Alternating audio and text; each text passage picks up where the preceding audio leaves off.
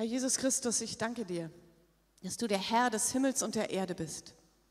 Ich danke dir, dass du der bist, der Verwandlung schenkt. Und ich bete für die Geschwister, die heute hier sind und sich danach sehnen, dich als den zu erleben, der ihr Leben von innen her verwandelt. Und ich bitte dich, dass du sie ermutigst, dass du ihr Herz festmachst bei dir, dass sie sich an dich hängen und erleben, dass du weitergehst mit ihnen. Und ich bete für die Gemeinden dieser Stadt, dass Himmel eindringt. Diese Dimension, die wir nicht machen können, die wir nicht programmieren können, die wir nicht veranstalten können, sondern die vom Himmel her zu uns kommt, wenn wir uns an dich hängen. Ich bete für die Pastoren und Gemeindeleiter hier, dass es Menschen sind, die von dir verwandelt werden und die Verwandlung des Himmels erwarten.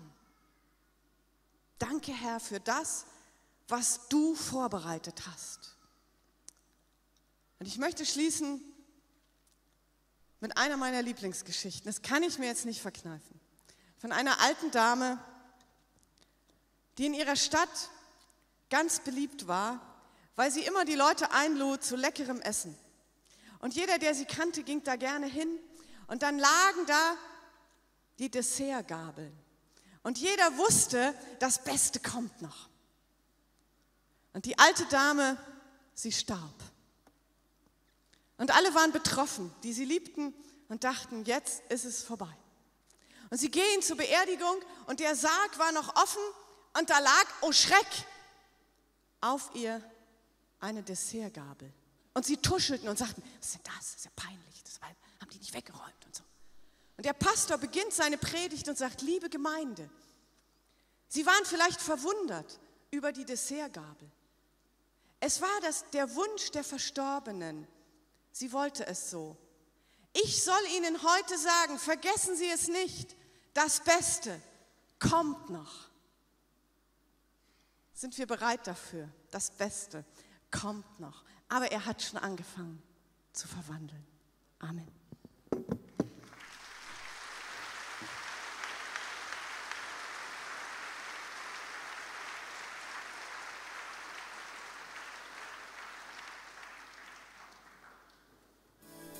Nur den Sound deines Gewandes einen Augenblick berühren und die Kraft, die von dir ausgeht, tief in meinem spüren. Nur ein Blick aus deinen Augen,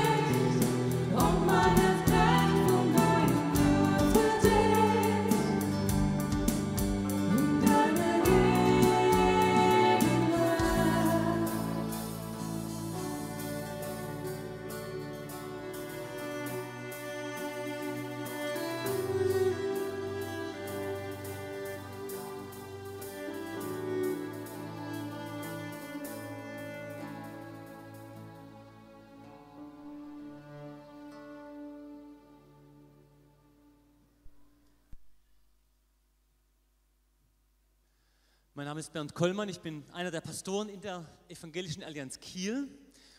Und es gibt ja eigentlich noch ein Kieler Allianzkind sozusagen, und zwar ist das unser Engagement auf der Kieler Woche. Und da wollen wir jetzt ein bisschen was dazu hören. Christen der Evangelischen Allianz Kiel sind auf der Kieler Woche. Das heißt, wir sind da. Es beginnt immer mit einem Gottesdienst, diesmal im Ratsdienergarten, wo wir zusammenkommen und so zum Auftakt der Kieler Woche Gott zusammen preisen, Predigt hören und uns so einstimmen. Und dann sind wir da für die Menschen auf der Kieler Woche. Wir bieten ihnen ein offenes Ohr. Wir bieten ihnen unsere Zeit. Wir bieten ihnen Spaß, Kinderschminken, was auch immer. Und manchmal auch ein Gebet. Es sind kostenlose Angebote und sie kommen immer gut an. Ich möchte einfach ermutigen, wenn ihr die Chance habt, euch da mal ein paar Tage Zeit zu nehmen, kommt doch mit raus. Wir haben Zelte da aufgebaut. Und was wir dieses Jahr aufgebaut haben, wir sind nämlich auch experimental, das werdet ihr gleich hier sehen. Zwei von denen, die immer recht aktiv dabei sind, sind Karin und Richie. Und die werden uns jetzt noch ein bisschen was erzählen, wie sie es wahrgenommen haben.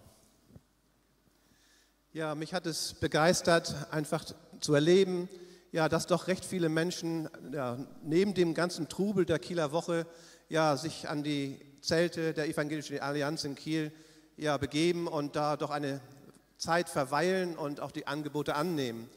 Und ja, unser Anliegen war und ist, wie gesagt, ähm, einfach für die Menschen da zu sein und ihnen was Gutes zu tun.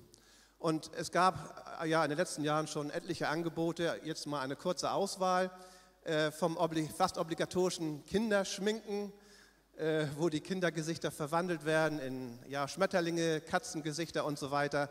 Und oftmals stehen die Kinder Schlange dafür an, dass sie da teilnehmen können.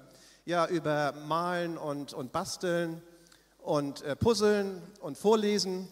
Ja, gibt es zum Beispiel auch ein, ein Poster, was einlädt, sendet eine Himmels, Himmelsbotschaft. Und da konnte jeder, der wollte, und Kinder und Jugendliche und Erwachsene haben daran teilgenommen, äh, ein, ein Dank, ein, ein Wunsch, ein Gebet als Brief an Gott senden. Ein Brief, der angeknüpft war, ein, ein gasbefüllten Ballon, der dann in den Himmel stieg. Ja, und da habe ich da habe ich ähm, eine Erinnerung an einen Jugendlichen, der zur Kieler Woche extra angereist ist nach Kiel, der ähm, auch gefragt hat, ob er auch so einen, ähm, einen Brief an Gott schicken darf. Er hätte doch einen Wunsch.